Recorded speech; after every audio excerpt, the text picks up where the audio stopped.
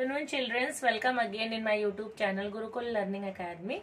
Today we will learn standard 4 evs part 1 chapter number 19 my delightful school.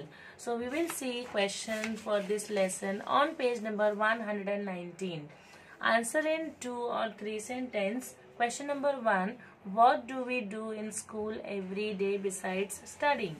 Answer for this question is here children's in my notebook. When First, we make friends in school, play together and share tiffins. Second, we take part in school functions and go to the trip together. Third, we clean and decorate our classroom. Second question, how does the enjoy of learning increase? Answer, there are different needs of different children. When we understand the mutual needs and difficulties and help each other, the joy of learning increase. Now we will see fill in the blanks first. If we help each other, we can succeed at anything. Second, every girl must get the joy of learning in school. So with this children's, we have done question answer and fill in the blanks for chapter number 19, My Delightful School. Thank you.